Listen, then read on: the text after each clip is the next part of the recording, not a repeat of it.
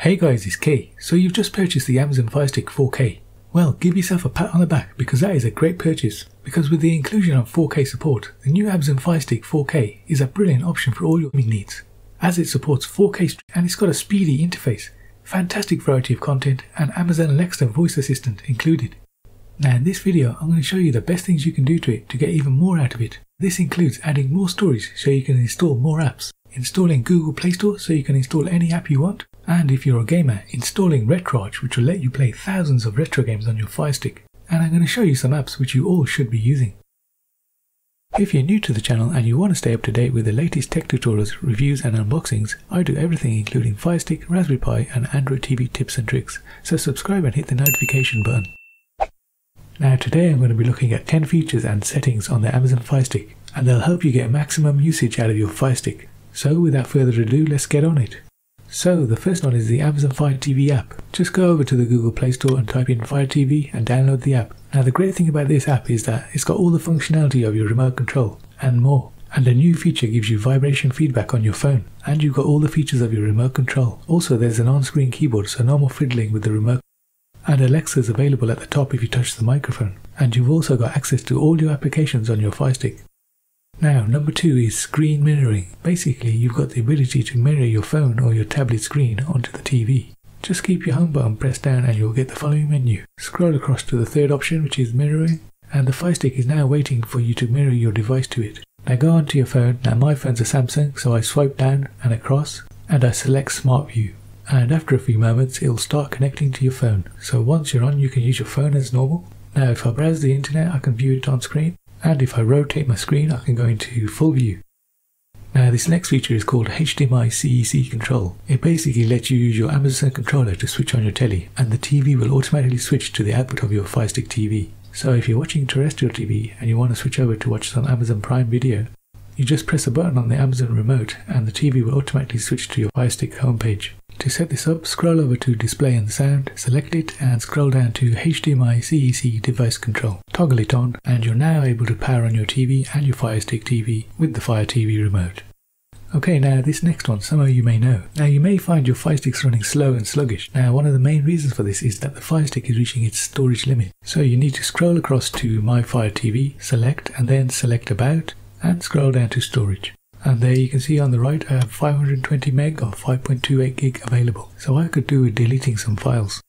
Okay so the next one sounds quite obvious but a lot of people still don't know about it and that is the ability to add Bluetooth devices. So go into settings and scroll across to remotes and Bluetooth devices. From there scroll down to other Bluetooth devices and finally go down to add Bluetooth devices. So from here you can add your Bluetooth headphones, remotes, keyboards and mice. Now for the next one, let's say you're in YouTube and you close down the app. Well, the app is still running in the background and using resources. So to fully close it out and free up memory, we need to go into settings and applications and scroll down to manage installed apps and select it. And from here we need to scroll down and find YouTube. Once you're on it, select it and then scroll down to force stop. Now this will stop the application completely from using up any more memory on your Fire Stick. Now my next hidden feature is found under accessibility, so select it and scroll down to screen magnifier. Now if you toggle it on, you'll get a whole host of options. If you hold the menu and fast forward, you'll be able to zoom into the screen. Now this can be useful if you're using the internet browser and you've got some small text on the screen you need to view. And by holding the back button and fast forward, you can toggle it on and off. Okay, so this next feature covers adding a USB port to your Fire Stick TV. So the Fire Stick comes with one port and it's where you plug in your power to the Fire Stick. So what you can do is buy an adapter that incorporates a USB port and a power input and it comes in a smart little package like this. Now I've left links in the description below where you can get these on Amazon. So it just plugs in like this and your power cord goes in the top here. And that means you have this free USB port where you can plug in your USB drive for extra storage. Or you could plug in a USB Ethernet adapter for wired internet for faster download speeds. Okay, the next one sounds pretty obvious and it's the ability to surf the internet on your Fire Stick TV.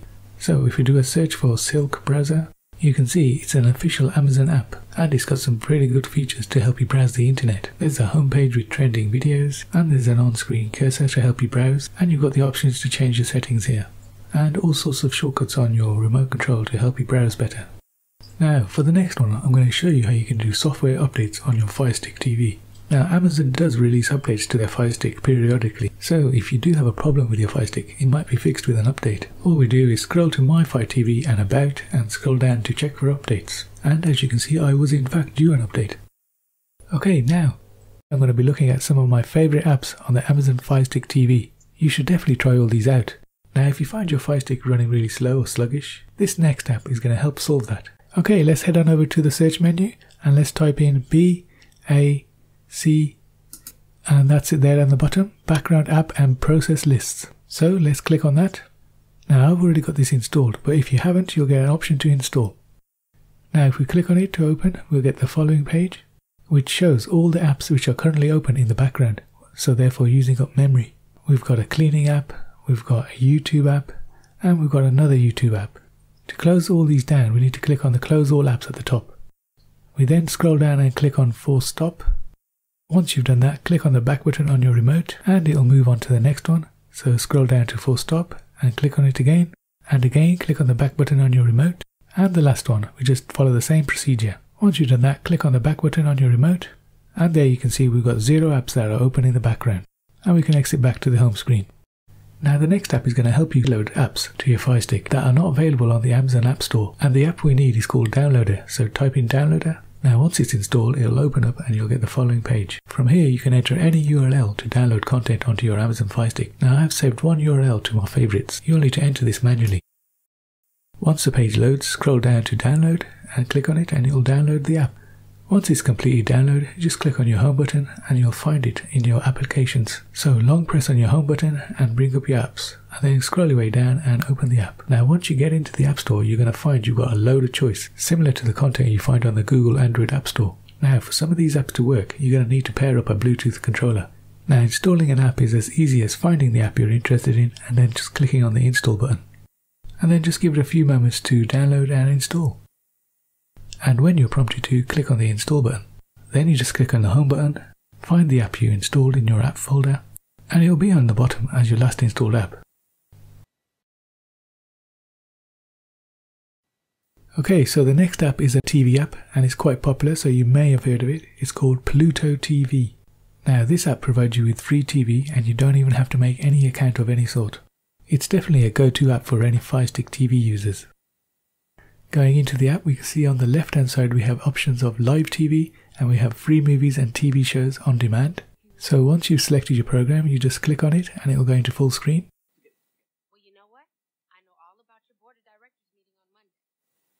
So straight away guys, you can see there's loads of choice of some very popular movies and TV shows. Now the next app lets you screen mirror your Apple devices, so your iPads, your iPhones. So if you type in AirScreen into your search bar, it should come up and it's pretty popular. Once it's downloaded, click on open and just follow the on-screen instructions, which is basically just clicking on the start button. And after it's initialized, it will wait for you to connect with your iPad. And all you need to do on your Apple device is swipe down and click on screen mirroring. And you should see the app ASAF in the box. And that's it guys, you can pretty much do anything on your iPad and it will be mirrored onto your TV. Even landscape mode works. So guys, I think all these apps are worthy contenders for your Fire Stick TV and you should definitely give them a try. Now, if you want to emulate all your favorite retro game systems quickly and easily, this guide is for you. Ask yourself, why go through the trouble of configuring a Raspberry Pi to play RetroPie when the Fire Stick can do it instead, and for cheaper? So you may be asking, what is RetroArch? In short, RetroArch is an emulation platform that can be installed on many different devices and operating systems. This includes Windows, Linux, Android and Apple devices. So here I am playing the PC emulation of Doom. As you can see and hear, it's 99% perfect. The sound and picture are perfect, giving you retro perfection. Heck, some might say it's better than the original, and RetroArch gives you the ability to cheat with a live rewind. So if you die in the game, you can do a quick rewind in-game just before that point and play on. Okay, so I also added Quake, another retro classic. Now, as you can see and hear, this plays equally as well as Doom with that familiar retro fuzziness. I do remember you are playing this on an emulator on the Fire Stick 4K TV. I'm astounded by what the Fire TV can do. Now I couldn't leave out the classic Street Fighter and Street Fighter 2 Turbo in this instance, so sit back and watch me lose. Now can you believe it, I actually played this game on the actual arcade machines. and it's still as addictive and great fun as them.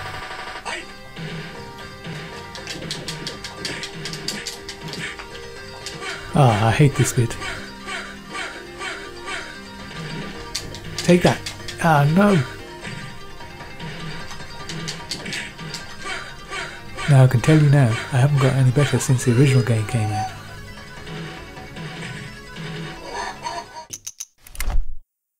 Now the next emulator I want to show you is the PSP, PlayStation Portable. So this is Need for Speed Most Wanted. It's a great little intro here, I'll leave it running for a bit. As you can see the Fire Stick is having no problems running this intro. Okay, let's just play a one player game and let's go through the setup. I'll let it play for 10 seconds to give you an idea what it's like.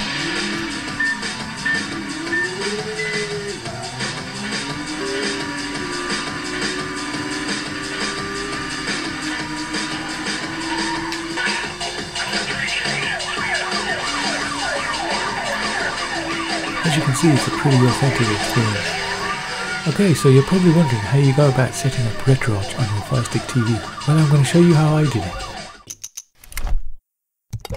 So to get RetroArch on your Fire Stick TV, you need an app called Aptoide. Now I have made a previous video on how to get Aptoide on your Fire Stick TV. Just follow the link in the description below. Once you have it, do a quick search for RetroArch and simply download. Now I've also downloaded an app called ES Explorer from Aptoide. It's a kind of a file explorer. I've used this to create a folder called ROMs under my RetroArch folder. This is where I'll place my ROMs. Once you launch RetroArch, the first thing you want to do is go to Online Updater and next Core Updater. And this is where you're going to choose your emulators, which you're going to run on your RetroArch. So I chose Doom, and I chose Quake, the Sony PlayStation Portable, now I also downloaded the MAME emulator, which I haven't shown here, which allowed me to play the Street Fighter 2 game. Next you need to navigate your way down to the content downloader folder. And it's here you can download your demo copies of Doom and Quake. Now for the other emulators, you'd have to transfer the ROMs from your PC into the folder you created earlier. Then it's just a simple case of going across the menu and you should see the games spring up. Pop into the game menu and then set the core association. And then go back up and run the game and it should load pretty quickly.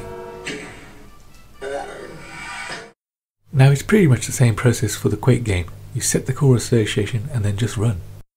Now just follow the same process for all the other emulators and you'll be on your way. Now if you want to further enhance your gaming experience, you can like me connect your PS or Xbox controller via Bluetooth to your Fire Stick TV. So guys, if you found this video helpful, give us a like and maybe even a subscribe and I'll see you in the next one.